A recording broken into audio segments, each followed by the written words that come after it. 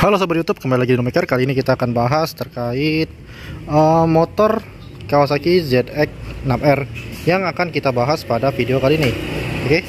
Nah, ini uh, kita akan review unit yang kalau teman-teman pengen beli moge, Bang, aku pengen beli moge, tapi dari showroom mana sih? Coba dong uh, review moge dari showroom-showroom ternama di daerah Jabodetabek, gitu ya. Nah, kita akan review beli di RNG Motorsport oke okay, motor ini kita akan review bagaimana kalau kita beli di showroom RNG Motorsport oke okay? penasaran dengan reviewnya simak terus video ini sampai habis oke okay?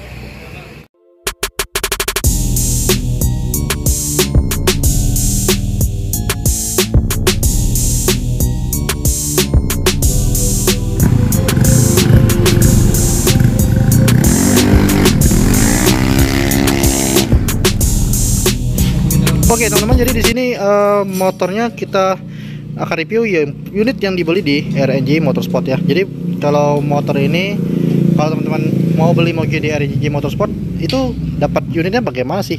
Sehat atau tidak? Ataukah ada minus ataukah ada plus? Kita akan review jujur-jujuran di sini ya. Jadi tidak ada di sini tidak ada endorse dari RNG juga tidak ada. Tapi ya sudah, kita langsung aja akan review unitnya. Oke. Di sini konsumennya uh,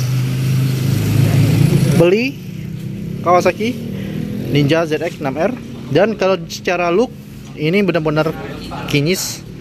Ya kinyis. Jadi kalau di RNG itu sudah ada jaminan garansi 100% kalau misalnya odometer resetan itu akan di buyback 100% jadi ini benar-benar tagline yang bagus.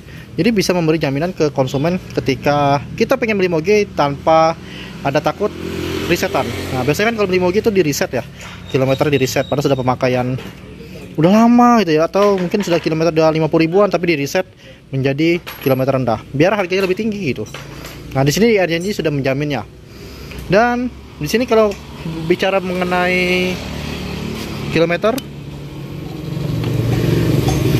motor ini baru 13.608 ya baru 13.600 jadi bisa dibilang masih lumayan mudah dan untuk cara kalau kita beli kalau kita beli dari RNG ini sudah dipoles ya sudah dipoles. Dan untuk joknya oke okay lah. Minus-minus pemakaian biasa ya kan dulu terus untuk ini karbon sudah diganti ya. Jadi ini ada variasi tambahan dibeli karbon. Dan untuk masalah venting kita bisa lihat ya.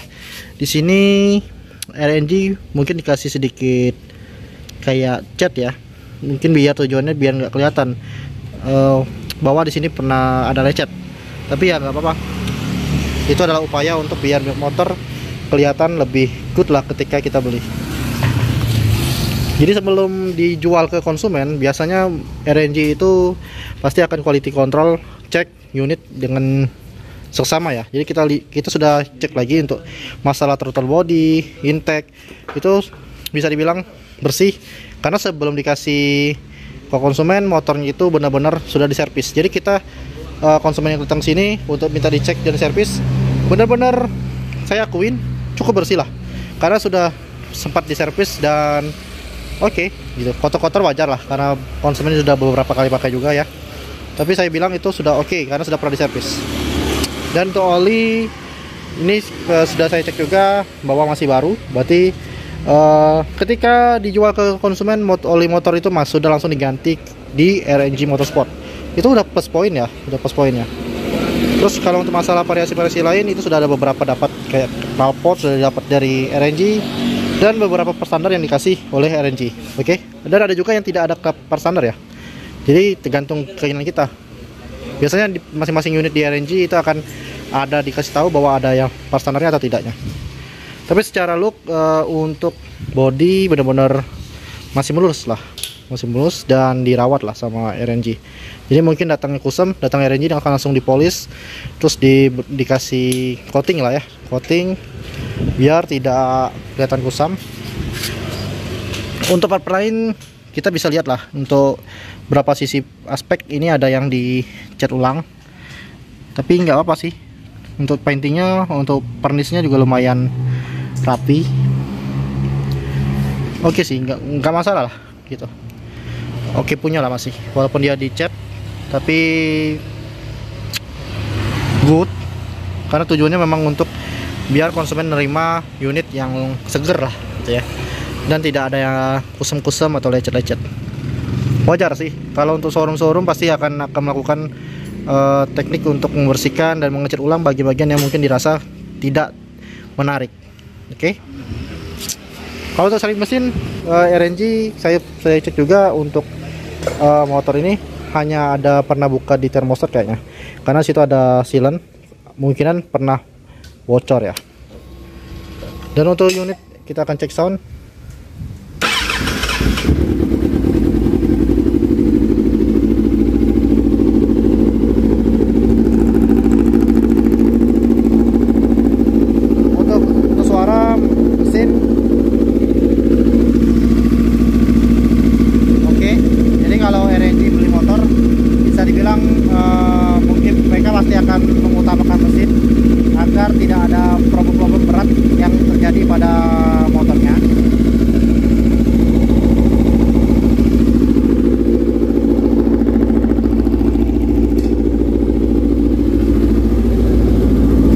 untuk kelistrikan kalau di RNG bisa dibilang uh, dijaga lah ya.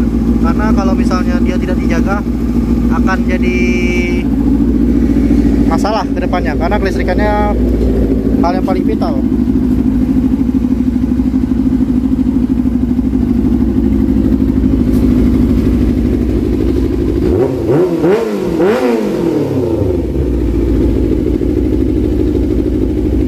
untuk panas video semua tombol-tombol aman nyaman kadang-kadang moge ini susah keras ketika kita tekan-tekan tombol ini.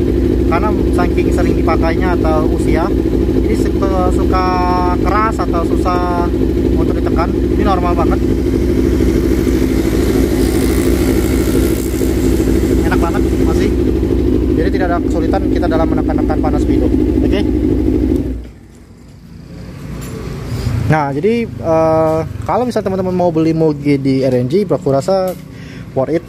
Untuk saat ini sudah bisa lah uh, pembelian di RNG sesuai dengan yang dikatain, yang dikatain, dikatakan ya, yang dikatakan bahwa setiap moge yang akan dijual itu selalu servis, dicuci dulu dan diperbaiki semua apa yang ada yang aspek minusnya dan oli diganti baru. Dan ini terbukti saya sudah cek semuanya, mantap. Oke. Okay? Jadi buat teman-teman kalau mau beli Moge di RNG, ini bukan promosi sih, tapi kalau RNG nanti next mau support untuk Moge-nya bisa datang ke Begalo Maker. Oke. okay? Demikian review Moge bekas dari RNG Motorsport. Semoga bermanfaat.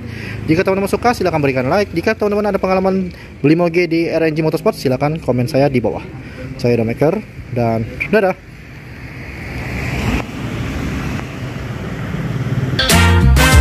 Gave you 10 a week ago. You told me that you got me when your check came home. I've been waiting patiently cause you my homie, bro. But times is getting hard, so I'ma need to see that cheddar though. You ain't been picking up, you finding escapes. I might have to wipe you out just like you Colgate.